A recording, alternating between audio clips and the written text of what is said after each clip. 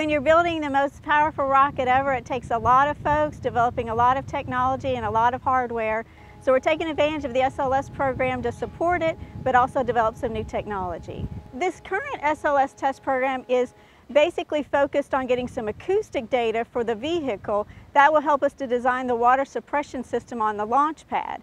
For this program, we actually made a full mock-up of the entire vehicle, including models of the liquid engines and the solid rocket boosters. The SLS program actually uses the same main engines as the space shuttle. So in order to do this testing for the acoustics part of the um, SLS vehicle, we actually used the exact same engine models that were used on the space shuttle program when they were going through acoustic testing.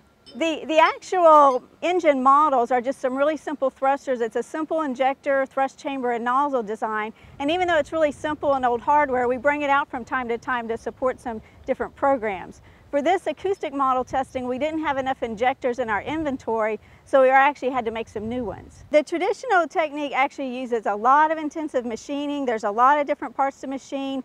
For our new injectors, um, we actually bypassed all the machining and welding and brazing and actually made these new pieces in one piece with selective laser melting, which is a 3D printing process. And with this process, we actually fabricated these in-house in one piece, so we got rid of all of the 32 braze joints and all of the five welds. We've actually got over 20 hot fire tests done on these units on the acoustic model so far, and as far as performance goes, they have the same performance or even better performance than the traditional injectors. And uh, they've, they've held up really well. After 20 tests, we haven't seen any degradation of the part.